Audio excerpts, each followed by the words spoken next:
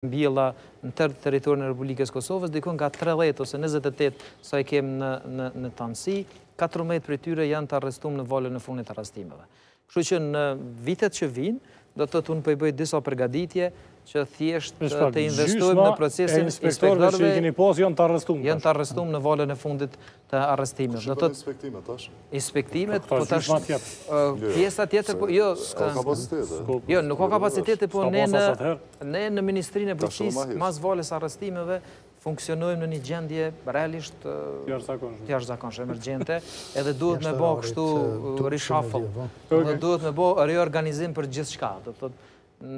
Bile tash po e tregoj me batutë, një zyrtare një ditë, i kish thonë në komunikim e sipër, tha, ky ministri i bujqësisë, tha, nuk e di a ka kupton, tha, unë jam punëtor shteti, nuk jam privat. I ka dasht agjencinë, do të thotë, zyrtarët e ministrisë, madje edhe zyrtarët e agjencisë pyjeve të Kosovës me inkuadru edhe me të gjitha asetet edhe kapacitetet humane për me mujt me ja dal.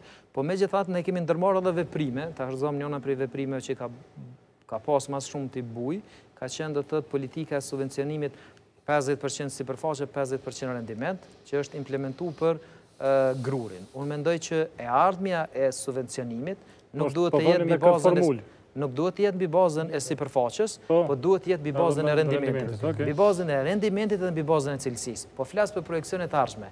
Aktualisht ne nuk mundemi me shku, kemi fillu me 50-50 me grurin, nuk e di çka do të ndodhë vitin e ardhshëm, ndodh që orientojmë në tërësi subvencionimin vetëm mbi bazën e kilogramëve të grurit, ndërsa për kulturat e tjera, për pemë dhe perime, mundemi me orientu mbi bazën e rendimentit, kur të krijojmë parakushte, të nevojshme që në nivel të gjitha regjioneve kemi pikë grumbulluese dhe gjithë ata që merren me n'atë veprimtari e deponojnë edhe në këtë rast thjeshtësohet edhe procedura edhe edhe fundi i fundit do të thotë përfitimi është i shumëfishtë se duke orientu subvencionimin edhe përkrahjen në rendiment, atëherë është një sasi e vlerës monetare që i kthehet buxhetit të Republikës së Kosovës, për shkak se na duhet me luftu informalitetin. E informaliteti në bujqësi është tepër i madh.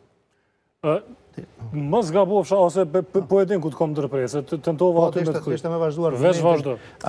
Sa është pesha e madhe e kësaj ministrie që udhëheq ministri, është është e jashtëzakonshme. Unë para se me ardhë në emision, e nxora disa të dhëna tregtare.